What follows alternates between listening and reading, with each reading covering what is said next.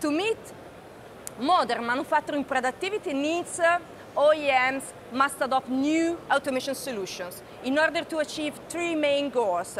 Reduce machine footprint, allow fast production changeover, and reduce the time to market for modular machine approach. Well, we want to understand with our expert, Wilfried Guerry, how can we achieve these goals? Tell me, which are exactly the measurable benefits you can obtain that such mechatronic solutions? Yeah, these mechatronic solutions such as the ACOPOSmotors can reduce up to 30% the size of the electrical cabinet, which is quite impressive, I guess.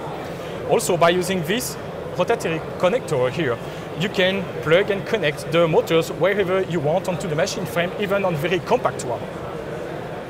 Also, on that product, we have the possibility to connect in a daisy chaining way all the motors. It will simplify a lot the wiring and it makes also possible for the customer to build quite easy and modular machine. Last but not least, the Akopos motors is also integrated into our programming tool Automation Studio. And thanks to the machine learning equipment, all the data that will transfer from this small drive to the cloud will be computed and we will improve the global productivity of the end users, I Great, thank you, Wilfried. And this is automation.